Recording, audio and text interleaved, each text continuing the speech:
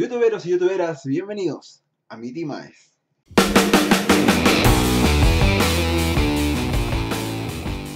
Hace un par de semanas, este señor nos propuso la idea de hacer una pequeña versión de YouTubeando, que era un magazine de YouTube acerca de lo que ocurría en YouTube. Dicen por ahí las malas lenguas que YouTubeando va a volver. Como sea, este pequeño proyecto que vamos a estar llevando en Timaes uno por semana, no va a ser tanto en la parte de dar noticias, sino más en la parte de recomendar canales. Hoy les voy a hacer un top, un top de youtubers para recomendar. Pero como somos 6 Mitimaes y probablemente vayamos a coincidir en cuanto a youtubers preferidos, vamos a hacer tops temáticos. Tops de youtubers de acuerdo a tal cualidad dependiendo, claro, del juicio del presentador. Ahora que me doy cuenta, soy la primera persona, aparte de Carlos, en conocer youtubeando. Sin más preámbulos, damas y caballeros, el top 5 de youtubers de opinión a los cuales yo estoy suscrito. Resalto que este no es un top de mis 5 youtubers favoritos, es un top de mis 5 youtubers de opinión favoritos. Si se tratara de solo poner a mis favoritos en general, pondría el staff de Oveja Verde. Este ranking ha sido particularmente difícil para mí porque 5 de mis youtubers de opinión favoritos están en este canal. Y bueno, no he querido ser patero.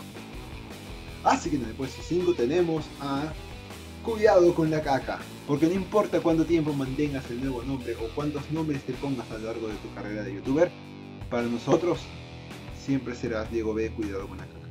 La razón por la cual Diego B es en el puesto 5, a pesar de mucho que me gusta, es porque se dedica más a la comedia. De hecho, si entras a YouTube para reírte, puede que pienses que solo se dedica a la comedia. Pero si te fijas en sus videos y en las cosas que dice entre chiste y chiste, el tipo pone su opinión. Y son opiniones válidas, eso sí. En el puesto 4 tenemos a un ídolo de las masas, una persona la cual me gustaría abrazar hasta que se sienta incómodo al respecto. José es en el puesto 4 y no más arriba porque a pesar de que afirma y afirma que la clave del éxito es la constancia, no sube videos hace edades. En cuanto a sus videos de opinión, José casi siempre tiene razón en lo que dice. Un tipo muy serio cuando tiene que ser, lo queda muy bien incluso cuando no tiene la razón. Lo único es que se ha sumergido un poco en su propio personaje, lo cual pasa, lo cual pasa, pero se nota también. No puedo decir que ahora está así porque hace mucho que no sube videos, pero era el camino que aparentaba tomar su personaje de Josean. Igual, cualquier persona que haya conocido a Josean de hace un año, que subía tres videos por semana, va a amar cualquier cosa que haga, del, del tema más relevante de la historia hasta un selfie con lisuras o sin lisuras, Ocean Escultura. En el puesto 3 tenemos al gran tío Héctor. El tío Héctor es uno de los señores más serios que vas a ver en YouTube. Pero no dejes que esto te confunda. Los temas que escoge Héctor son los más relevantes y mayoritariamente son temas que él conoce a fondo. Muy aparte de los temas en general, tiene un segmento que se llama Marveleando, en cual te informan las historias de los personajes de Marvel en un tiempo relativamente corto, lo cual es una gran herramienta para una persona como yo disfruta mucho de las películas de Marvel pero no tiene idea de la historia que hay detrás. Tío Héctor tampoco sube videos ese día. Puta madre. En el puesto 2 tenemos a Block Brothers.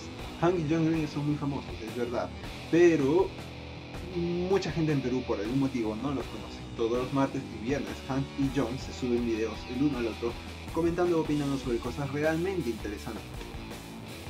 Sí, dije John Green. Sí, no todos saben que es youtuber, pero es youtuber. Pero no te dejes impresionar por una persona que escribió un libro que eventualmente terminó una película que está muy de moda.